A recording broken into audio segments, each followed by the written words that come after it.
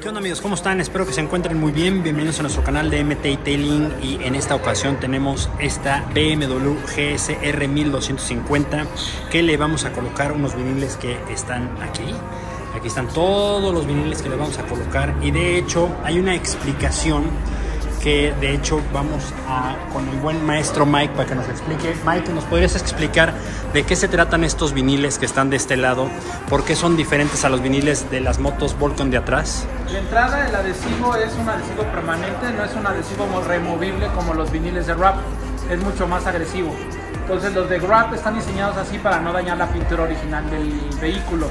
En este caso es un adhesivo permanente para que pueda pegar bien en las partes plásticas, Ok. donde no hay muy buen contacto. Ok. Y están laminados con un laminante que se llama Flo- Floor Graphic, es para piso. Ok. Por si quieres poner gráficos en el piso para que sea más para uso rudo, aguanta más impactos y la tinta no se despinta. Y lo principal es que no va a acabar la textura.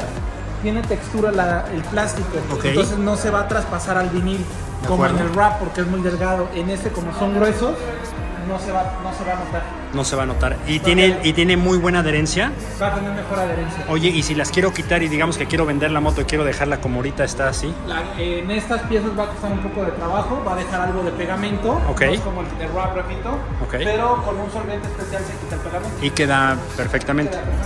Ok, pues ya lo vieron mis queridos amigos. Vamos a darle a esta moto que va a quedar muy padre porque vean cómo está ahorita y ya, ya no, ahora sí que ya no puedo esperar a, que, a verla ya por completo y pues así, ya lo verán y que comience el show. Ah, por cierto, muy importante, ¿verdad? Que le den like si les gusta el video, síganos, suscríbanse y ahora sí, comienza el show.